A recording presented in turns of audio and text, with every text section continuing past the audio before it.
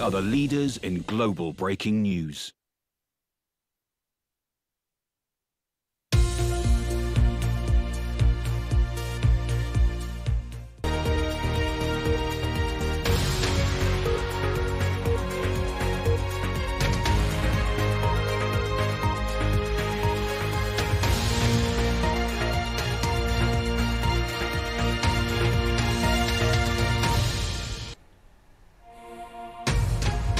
You're live with Lucy Hockings on BBC World News. Anger in the Kremlin over Joe Biden's warning on Ukraine.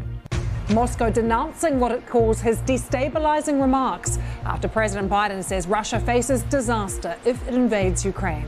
Our allies and partners are ready to impose severe cost and significant harm on Russia and the Russian economy. The International Committee of the Red Cross says the details of more than half a million vulnerable people have been stolen in a massive cyber attack on its data. The first plane load of aid lands in Tonga on a runway cleared of ash following Saturday's volcanic eruption and tsunami. Good news from South Africa, where the Omicron variant was first detected. Scientists there are confident it's on the way out. And untouched by climate change, a rare, pristine coral reef is discovered off the coast of Tahiti. In the next half hour, we'll be live in Moscow and Abuja and hear from our correspondents in Geneva and Washington.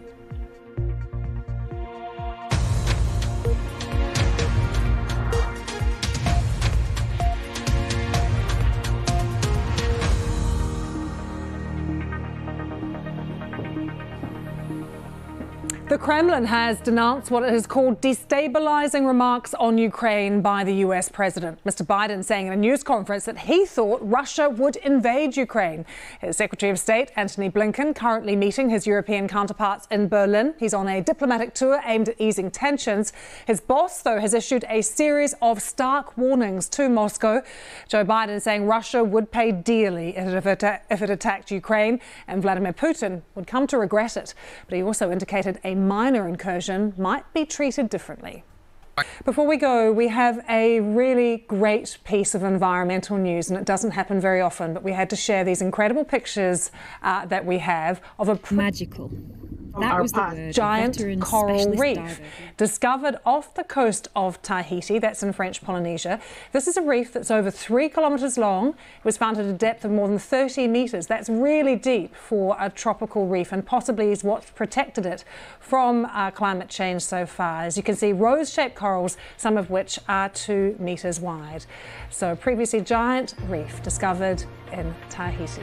And we leave you with those pictures, but I will see you for the headlines in a few minutes.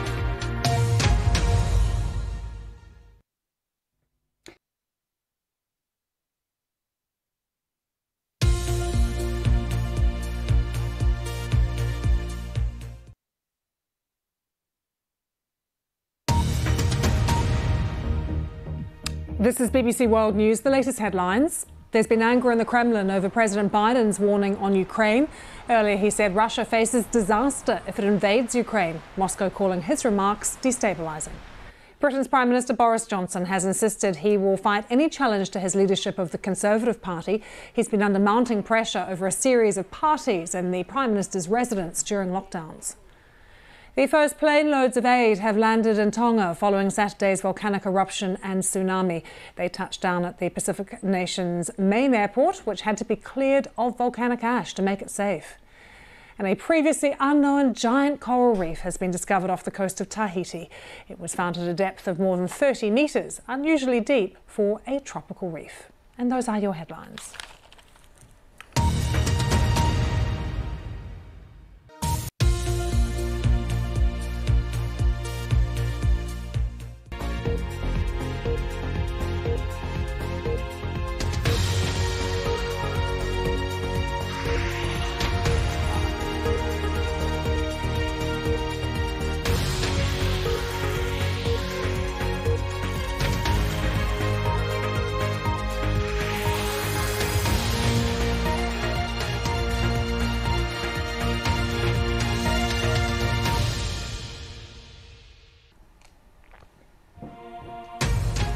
You're live with Lucy Hockings on BBC World News. Anger in the Kremlin over President Biden's warning on Ukraine. Moscow denouncing what it calls destabilizing remarks after the president says Russia faces disaster if it invades Ukraine.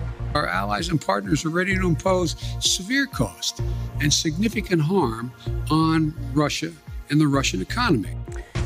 The details of more than half a million vulnerable people have been stolen in a massive cyber attack on the International Committee of the Red Cross. Thousands offer to adopt a hamster in Hong Kong after a is ordered over fears that they can spread COVID. Good news from South Africa, where the Omicron variant was first detected. Scientists there are confident it's on the way out. It was more infectious but less severe, and that is exactly what a virus wants to do. In the programme, we'll be live in Berlin, New Jersey, and South Africa, and hear from our correspondents in Moscow and Abuja.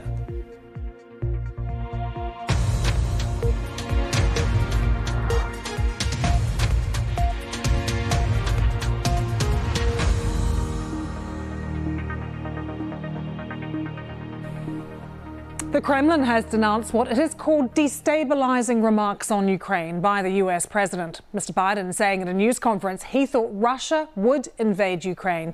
His Secretary of State, Antony Blinken, is currently meeting his European counterparts in a tour of Berlin. It's all aimed at uh, easing tensions, but his boss has issued a series of stark warnings to Moscow.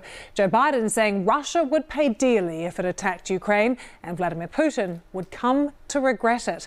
But he also indicated a minor incursion might be treated differently. From those uh, incredible images there near Tahiti to Belgium, we have a slightly shaky live picture for you, uh, but it is a remarkable moment for a young teenage pilot who has become the youngest woman to fly solo around the world. Let's see her landing. 19 year old Zara Rutherford has landed at one of Belgium's airports, finishing her journey, which began in August last year. She has visited nearly 50 countries during her trip in an ultra light plane. Congratulations to Zara.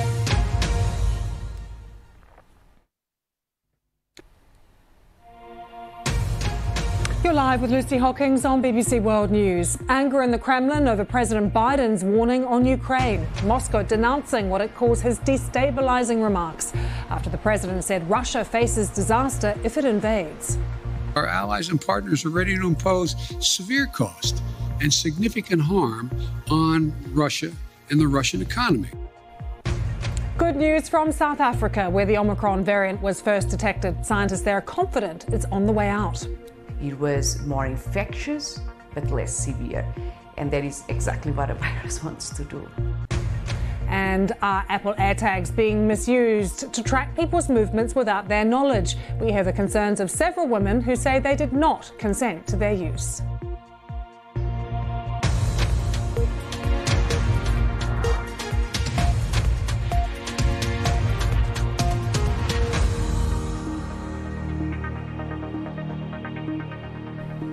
It's exactly a year since Joe Biden replaced Donald Trump as President of the United States. He entered office with lofty ambitions to not only guide America out of the pandemic, but transform its social welfare system and heal deep partisan divisions. But polls show he's become one of the most unpopular presidents since records began.